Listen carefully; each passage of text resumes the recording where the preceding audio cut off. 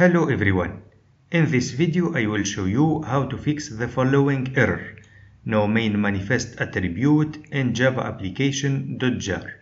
So this error means that we created the jar file as a library. So the jar file does not know the name of the main class. To fix this error we have two options. Either we have to add the name of the main class to the jar file or we need to create the jar file as an executable jar. So in this video I will show you how to add the name of the main class to the jar file. Then using Eclipse IDE I will show you how to create the jar file as an executable jar. So this is my jar file. If I double click it, nothing happens. So let's open the command prompt.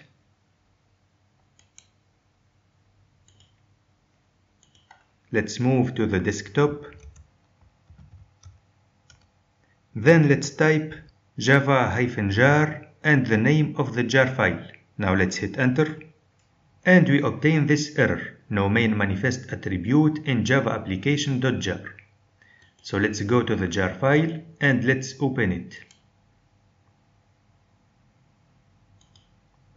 So in my case, the name of the main class is my calculator. So I need to add the name of this class to the jar file. So let's open this folder and let's extract this file.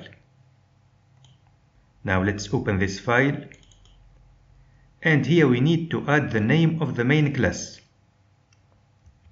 Now let's save this file and let's close it. Now let's add it again to the jar file and let's confirm that we want to add the file to the jar file. So let's click on yes and let's close this jar file.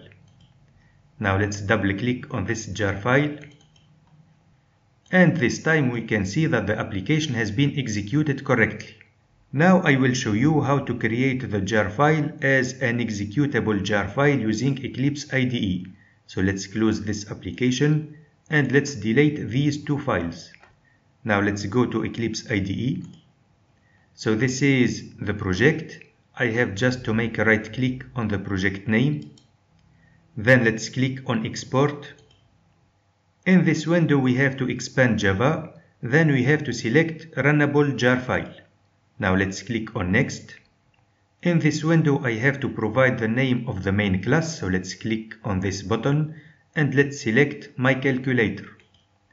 Then let's provide the path where to save the jar file. So I will save it on the desktop and I will call it Java application. Now let's click on save. Then let's click on finish. Let's click on OK.